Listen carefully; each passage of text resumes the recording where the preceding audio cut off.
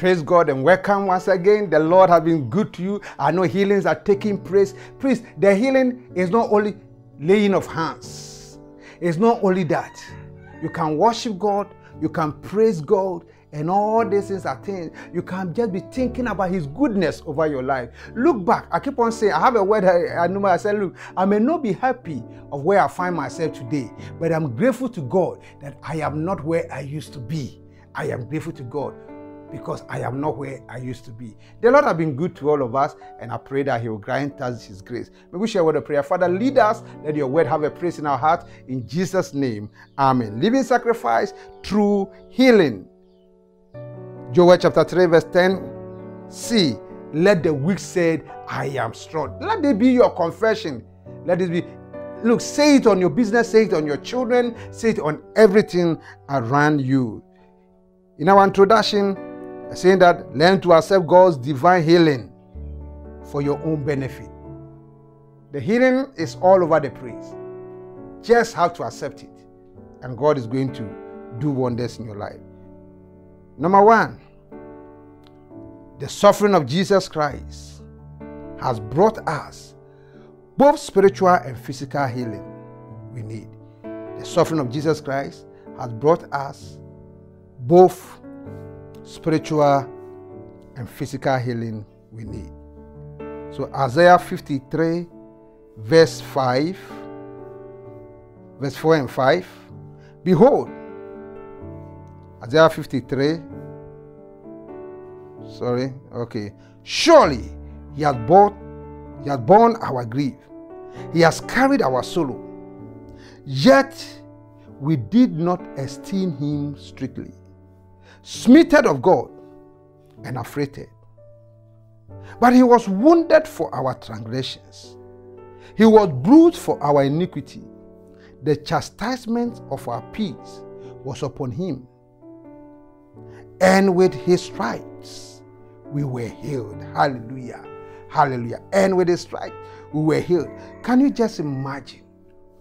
Can you just imagine? the suffering while they were lashing Jesus Christ and blood was oozing out from his back. The Bible said, out of that, we receive our healing. So you see, the, the divine healing you need, it is not now that God is going to provide. He said, the day Christ were, was beaten and blood was oozing out of his back, that was the day you received that healing. It is left for you to enforce it by faith through declaration and you begin to walk in that divine health. That is it.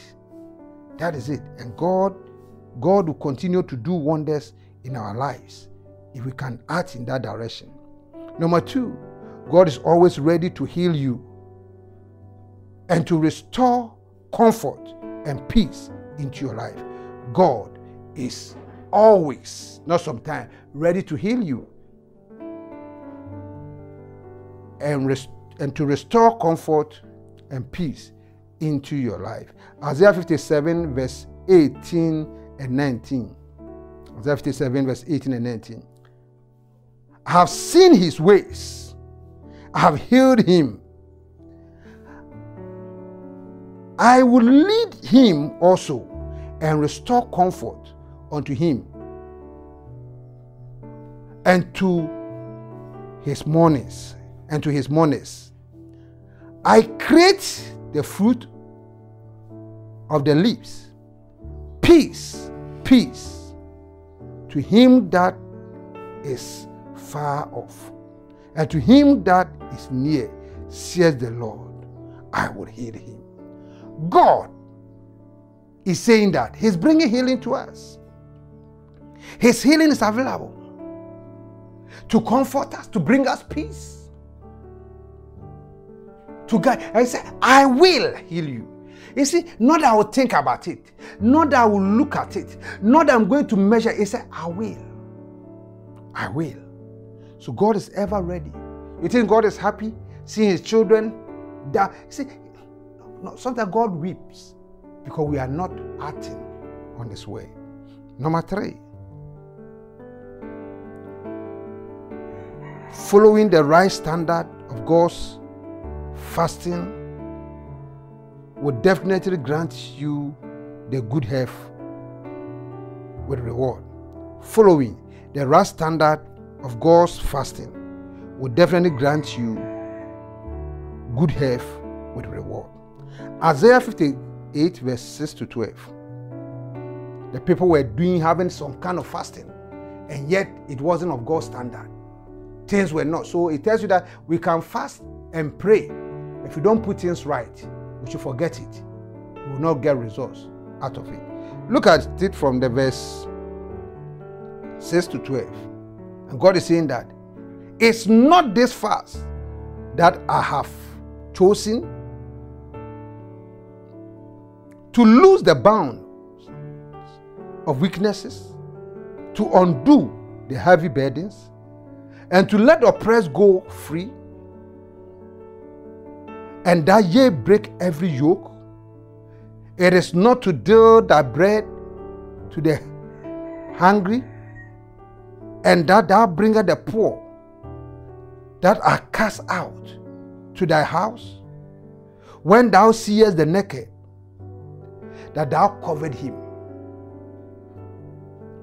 and that thou hide not thyself from thy own flesh. Thy own flesh means that your family. Some of us, the moment we see a family member calling us, I'm not talking about those who are just want to want to take advantage of us. When we see, oh no no no, this person, no, that's not the right thing to do. Then shall thy light break forth. My goodness, as the morning, and thy health shall spring forth speedily, and thy righteousness shall go before thee. The glory of the Lord shall be thy reward. Oh, praise God. The glory of the Lord shall be thy reward. Then thou shalt call, and I shall answer. And thou shalt cry, and he shall say, Here am I. If thou take away from the midst of thee the yoke, the putting forth of the finger, and speaking vanity, if thou drawn out thy soul to the hungry, and satisfy thy afflicted soul, then shall thy light rise in obscurity.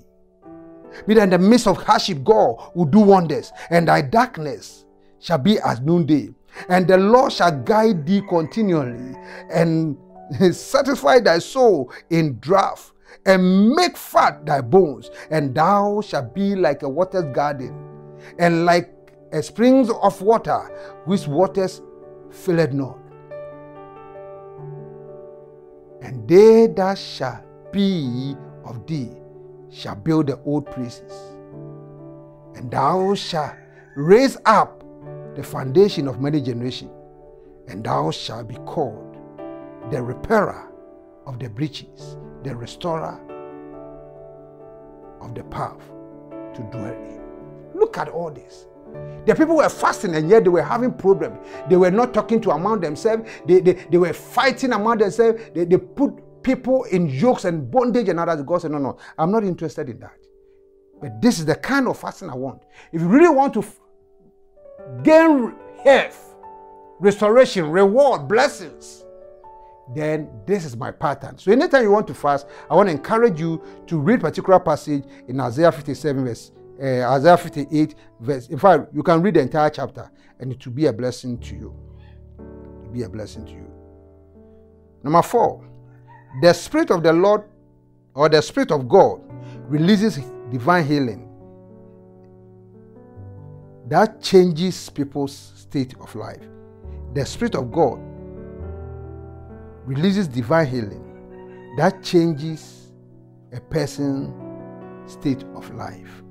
In Isaiah chapter 61, verse 1 to 4, the Spirit of the Spirit the Spirit of the Lord God is upon me because the Lord has anointed me to preach good tidings unto the meek.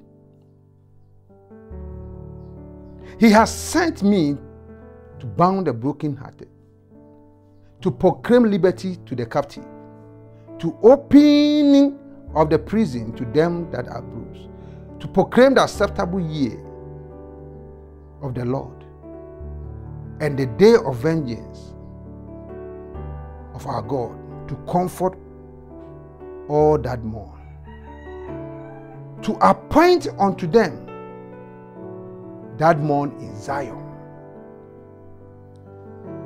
to give unto them beauty for ashes, the oil of joy for mourning, the garment of praise, the spirit of heaviness, that they might be called, they might be called tree of righteousness, the planting of the Lord, that he might be glorified. And they shall build the old waste, they shall raise up the former desolation, and they shall repair the waste city, the desolation of many generations. Look how God. Yes, in fact, Isaiah said that this is what the Lord has. When you read the book Luke account, they say, He has sent me to heal the brokenhearted. So this is how it is. Until we understand these principles, God releases. And when the healing comes, it changes. Look at what we read. It's so amazing. It's so amazing. He gives you beauty for ashes, oil for joy in place of mourning, the garment of praise in place of the spirit of heaviness. Is what God is doing in our lives. Let me conclude by saying that healing is not only meant for your body, but also for your soul and spirit.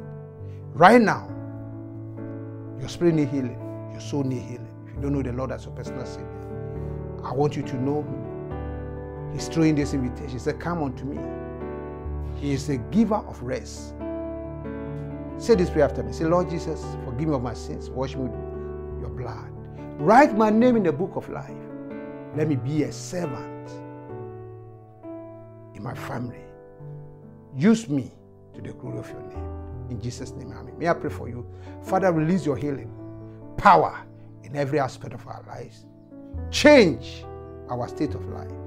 Bring grace to strengthen our heart. In Jesus' name, Amen. I'm Samuel Obese. I want to thank God for your life. I want to encourage you, subscribe, share, and touch the bell. And also want to encourage all those who have accepted Christ. Look for a Bible believing church. Just in your community. Walk in there, tell the pastor you accepted Christ, you want to be part of God's family. And they are going to receive you into that family of God. And you are going to be blessed. Also want to thank our partners and, and say that we thank you so much. You want to be part of it, the Momo number is on the screen there. Please, you are at liberty to do so. God bless you, and until we meet again, we say you are blessed beyond case. Amen.